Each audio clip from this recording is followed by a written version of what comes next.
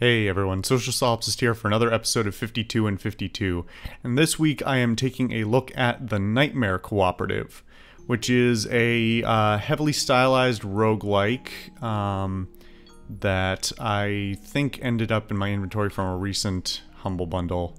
Uh, again, I sound like a broken record with that one.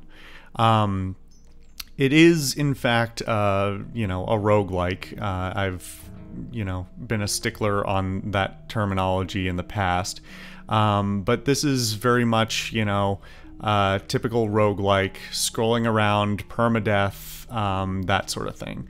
However, it adds some um, you know interesting nuance to it uh, that that um, you know made made me play more than I would with your uh, typical roguelike. I think. Um, basically you start with one character uh, everything's randomly generated as far as i can tell. Your party your starting level everything like that. Um, and you're dropped into a small dungeon uh, with an exit.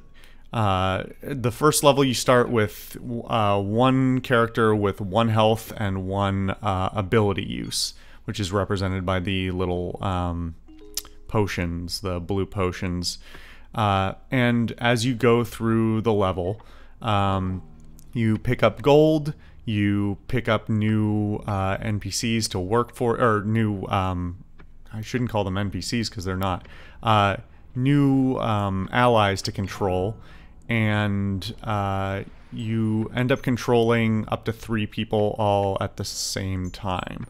Um, at least I think it's three. Uh, it's I, I there have been levels where I've gone into it with two and then I go to pick there's two guys just sleeping, which is how you find new characters. They're just sleeping on the ground. Um, it looks like there's a spot for a fourth, but as soon as you pick up the um, like one person from the level, the others die or disappear. They just poof. Um, so maybe if I finally finished a level with three and pick up a fourth, maybe that would be um, maybe I would have to, I would be able to have a party of four. But anyway, um, I digress. Uh, as your party grows, you are controlling all of your characters at the same time. So you have to use use and avoid obstacles and enemies to your advantage, um, or to the best of your ability, not to you know straight up murder all your guys. Um, because every time you scroll, you know, left, right, up, or down, everybody moves um, at the same time. Uh, if you, the normal combat is basically just you trade blows with an enemy. Uh, you lose a health, they lose a health. So the um, the main you know practice is just to avoid combat as much as possible. Um, there is some variability even in the early levels uh, to to the enemies. Um, they have a variety of different uh, movement styles and um, abilities that they have at their disposal, that sort of thing. Um, and again, with the whole idea of avoidance, uh, the game punishes you, or at least makes things harder, if you hang around too long. Um, there's a constant countdown to add more enemies to the level, so even if you wipe all of them out, more will spawn uh, with time. That's down at the down at the bottom uh, right there. That uh, little red number that counts down every time you move. Um, in addition to that, every time you open a chest, uh, it will spawn one or more enemies, um, depending on if it has a number on the chest.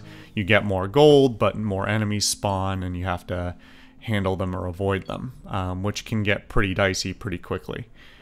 Uh, you can there are, there is a secondary combat which uses the potions.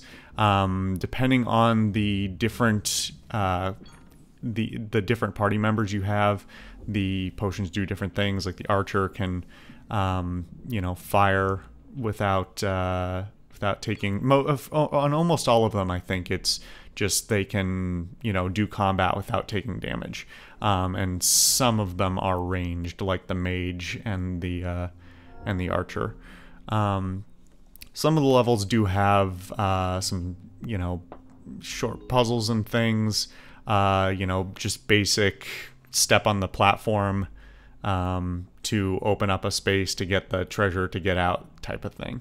Um, but again, the diciness of that doesn't come from the complexity. It comes from, well, can I get everybody into position um, without getting anybody dead or without getting the whole party dead at least? Um, and it quickly becomes a matter of, uh, well, who do I have to sacrifice? Um, what's, you know, it's it's frequently a matter of catch 22s.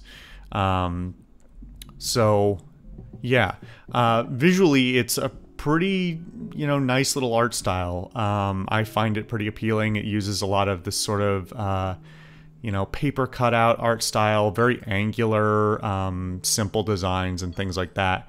Really clean color palette that I appreciated. Um, and things change up once you get into uh, some of the um, later levels. Uh, I think I made it to level five. Um, and I think in total there are 16 levels, or at least as far as I could tell. Um, I honestly have no idea uh, if there's more after that. Um, I can't even conceive of getting there. Um, again, it is all randomly generated, and because it is permadeath, you know, you lose everything by definition. Um, so, uh, again, as I've said with roguelikes before, that's not so much my cup of tea. Um, and it means, at the very least, that I won't end up playing this for long periods of time. You know, no, no four-hour uh, grind fest or anything like that. And because you don't uh, unlock anything, um, you know, with with passing playthroughs as well, um, I, for me personally, that will get frustrating pretty fast. I am sure. Um, but that said, you know, don't if you are a roguelike fan, I think this is probably a pretty great little pickup. It does something unique. It looks pretty, uh, you know, and it and it runs well. Um, honestly, you know, I I wouldn't mind having this on mobile or something like that. Uh, it may actually be available on mobile. I'll have to check that after. But uh, yeah, um, interesting little uh, roguelike dungeon crawler that's uh, worth a shot. I think, um, if what you see appeals to you and what I've described makes sense to you. Uh, so yeah, that's been me. I'm the Social Solipsist. Thank you guys for watching 52 in 52, and I will see you guys next time.